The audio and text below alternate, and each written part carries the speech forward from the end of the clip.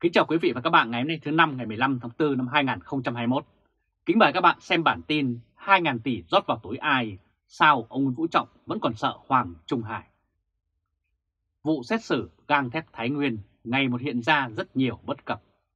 Tòa án Nhân dân thành phố Hà Nội đang đứng ở thế kẹt, không dám cho mời Hoàng Trung Hải là người phải chịu trách nhiệm cao nhất trong sai phạm của vụ án này.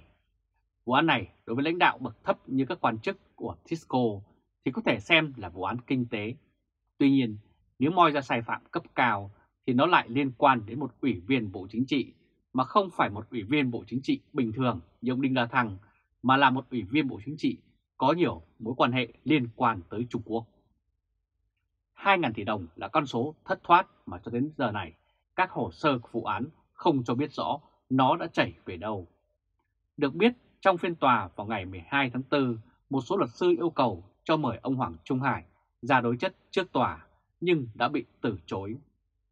Một con số rất lớn đến 2.000 tỷ đồng mà không cho mời người chịu trách nhiệm cao nhất ra đứng trước tòa thì làm sao có thể giải quyết được hết từ ngọn tới gốc những sai phạm được như vậy.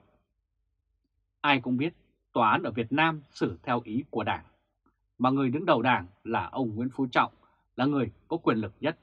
Hiện nay, ngoài ông Phạm Minh Chính thì không ai có thể không sợ ông Nguyễn Phú Trọng.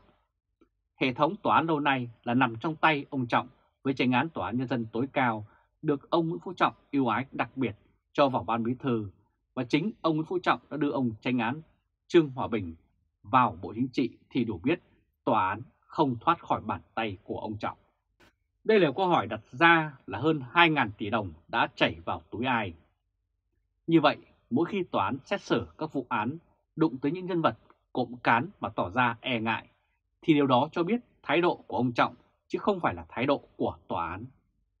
Ngại gọi tên ông Hoàng Trung Hải là ông Trọng sợ thế lực của Hoàng Trung Hải hay là sợ thế lực nào đứng sau lưng ông Hoàng Trung Hải. Cuộc chiến giữa các thế lực ngầm đang diễn ra khốc liệt tại thủ đô Hà Nội. Theo báo chí nhà nước đưa tin, thì chủ đầu tư đã giải ngân hơn 4.400 tỷ đồng, nhưng thanh toán cho các nhà thầu hơn 2.100 tỷ đồng. Vậy số còn lại đang ở đâu? Chiều ngày 13 tháng 4, Tòa án Nhân dân thành phố Hà Nội xét xử vụ án vi phạm quy định về quản lý sử dụng tài sản nhà nước gây thất thoát lãng phí, thiếu trách nhiệm gây hậu quả nghiêm trọng, xảy ra tại công ty gang thép Thái Nguyên, Tisco. Theo cáo trạng, vào năm 2007, Tisco đã ký với kế với Tập đoàn Khoa học Công nghệ Liên Kim Trung Quốc MCC hợp đồng EPC tức là thiết kế, cung cấp và xây dựng, trị giá 160 triệu đô la để xây dựng nhà máy luyện phôi thép thuộc dự án mở rộng sản xuất giai đoạn 2 của gang thép Thái Nguyên. EPC là hợp đồng chọn gói không đổi giá trị, nhưng sau đó MCC đã yêu cầu tăng giá và được ông Hoàng Trung Hải chỉ đạo cho các bị cáo tại Tisco cũng như Tổng Công ty Thép Việt Nam VNS chấp thuận. Ngoài ra, các lãnh đạo, cán bộ tại Tisco cũng như VNS còn chọn Tổng Công ty Xây dựng Công nghiệp Việt Nam làm nhà thầu phụ thực hiện phần C là xây lắp trong hợp đồng EPC. Đây là hình ảnh phiên tòa đang bế tắc nhưng tranh án không dám mời ông Hoàng Trung Hải. Ông Hoàng Trung Hải là người gốc Hòa, lại chỉ đạo và làm cho phía Việt Nam bị bất lợi và có lợi cho đối tác nhà thầu Trung Quốc. Như vậy, có khác nào ông Hoàng Trung Hải là đầu mối gây nên vấn đề thất thoát tới 2.100 tỷ đồng tiền thuế của dân. Chuyện lại quả có hay không chưa cần xét đến, chỉ cần biết chính ông Hoàng Trung Hải là người có quyền hạn cao nhất chỉ đạo việc thanh toán sai nguyên tắc, chỉ cần mời ông Hoàng Trung Hải ra trước tòa đối chất là xong. Và sự e ngại của tòa và sự trần chừ của ông Trọng trong vấn đề xử lý ông Hoàng Trung Hải cho thấy ông Hoàng Trung Hải đang sở hữu thế lực ngầm mà khiến cho Nguyễn Phú Trọng phải ái ngại. Ông Hoàng Trung Hải hoàn toàn có khả năng bị bắt cùng với Đinh La Thăng hồi năm 2017. Nhưng cho tới nay, đã 4 năm, ông Trọng vẫn nỗ lực lắm cũng chỉ cho ông Hoàng Trung Hải nghỉ hưu, chứ chưa dám động chạm gì tới ông Hoàng Trung Hải cả. Theo lý mà nói, ông Hoàng Trung Hải thân cận với Nguyễn Tân Dũng hơn cả Đinh La Thăng, mà ai cũng biết ông Nguyễn Phú Trọng rất muốn đưa ông Nguyễn Tân Dũng vào lò. Mà trong đó đầu mối có thể khai ra sai phạm của ông Dũng nhiều nhất là Hoàng Trung Hải. Tuy nhiên, cho đến nay, ông Nguyễn Phú Trọng dường như vẫn ái ngại và chần chừ. Đến các bị cáo tại lãnh đạo Tisco cũng không dám khai ông Hoàng Trung Hải yêu ái chỉ đạo nhân giá thầu lên cho phía nhà thầu Trung Quốc MCC. Sau đó, nhà thầu Trung Quốc thanh toán không minh bạch một khoản 2.100 tỷ. Tiếp theo chỉ đạo yêu ái của MCC, ông Hoàng Trung Hải còn chỉ đạo MCC chọn nhà thầu Vinacon không đủ năng lực thi công và không được cung cấp đủ thiết bị từ phía MCC. Do đó, đến năm 2011 phải tạm dừng hoàn trả Tisco các hạng mục chưa hoàn thành. Cáo trạng xác định hành vi này khiến dự án của Tisco kéo dài thời gian, gây thiệt hại tiếp 830 tỷ đồng là tiền lãi của Tisco phải trả các ngân hàng như VDB và việt tin bằng Dự án của Tisco ban đầu có vốn đầu tư là 3.834 tỷ đồng. Tuy nhiên, năm 2012, các bị cáo tại Tisco và VNS đã đề nghị được chấp thuận tăng tổng mức đầu tư lên tới 8.104 tỷ đồng. Ban đầu, dây chuyển điện kim dự kiến xây dựng chuyển giao trong 30 tháng, nhưng đến nay sau gần 14 năm vẫn chưa hoàn thành và đã dừng thi công, trở nên hoàng hóa, hoen dỉ từ lâu. Đây là hình ảnh ông Hoàng Trung Hải. Tại tòa vào ngày 13 tháng 4, với tư cách nguyên đơn, đại diện Tisco cho biết đang yêu cầu MCC thực hiện nốt hợp đồng EPC. Phía Tisco tiếp tục yêu cầu MCC triển khai thực hiện EPC vì MCC còn nhiều vướng mắc vi phạm theo kết luận. Từ ngày 29 tháng 3, chúng tôi đã khởi động lại đàm phán để MCC tiếp tục thực hiện dự án chứ chưa chấm dứt hợp đồng. Đại diện của Tisco đã khai như vậy trước tòa. Đến thời điểm này, Tisco đã rót vào dự án tới 4.423 tỷ đồng. Trong số này có hơn 3.000 tỷ đồng là đi vay từ các ngân hàng. Con số thiệt hại là 830 tỷ đồng được xác định là thiệt hại từ phần lãi vay. Tại tòa, các luật sư đặt câu hỏi, chủ đầu tư đã giải ngân hơn 4.400 tỷ đồng nhưng thanh toán cho các nhà thầu hơn 2.100 tỷ đồng. Vậy số còn lại đang ở đâu?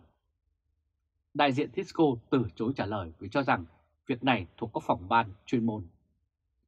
Dự án này, phần E tức là thiết kế hơn 3 triệu USD, phần P là cung cấp thiết bị là hơn 114 triệu đô la và phần C là xây lắp là hơn 42 triệu đô la.